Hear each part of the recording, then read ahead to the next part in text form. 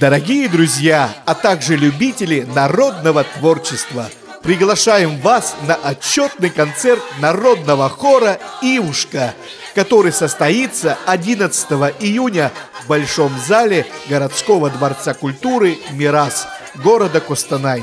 Начало концерта в 15.00. Ход свободный.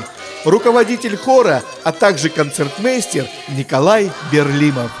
Программе патриотические, народные, а также веселые, задорные песни под аккомпанемент баяна. Также в программе примут участие хореографические коллективы «Легенда» и «Эстель». Но и это еще не все.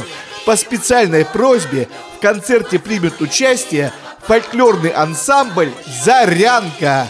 Так что приходите, будет весело! Yeah.